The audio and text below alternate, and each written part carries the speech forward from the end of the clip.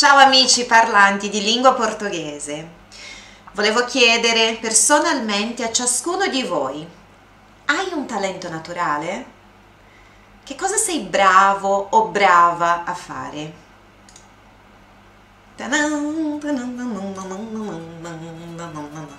No, non sono a caccia di talenti, ma vi volevo far conoscere un'espressione in italiano che potete usare quando volete dire che avete un talento naturale.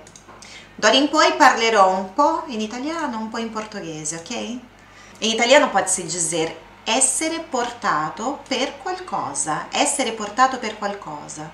Verbo essere no tempo e pessoa de sua preferência.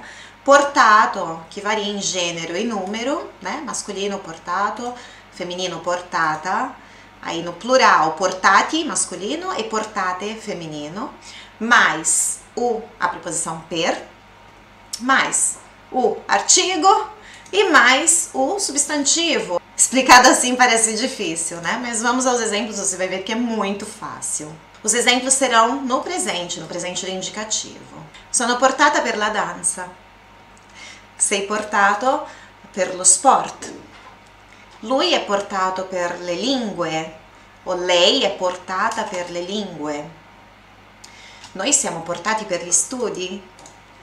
Voi siete portati per la matematica e loro sono portati per la musica. É sempre necessário expor o pronome aí. Então, pode ser sono portata per la danza, sei portato per lo sport, é, è portato, è portata per uh, le lingue, siamo portati per gli studi, siete portati per la matematica e sono portati per la musica. È facile interessante, né? Essere portato per qualcosa. Sabe qual é o contrário de essere portato per qualcosa? Essere negato per qualcosa. Essere negato per qualcosa. Sono negata per la danza. Giochi a calcio? No, sono negato per qualsiasi sport. Lui è negato per le lingue, lei è negata per le lingue. Siamo negati per gli studi. Eh, siete negati per la matematica e sono negati per la musica.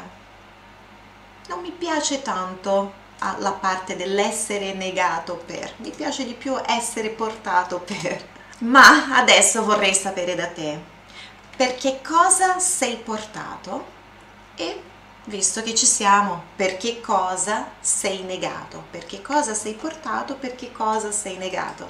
Scrivi nei commenti e ci vediamo prossimamente. Ciao!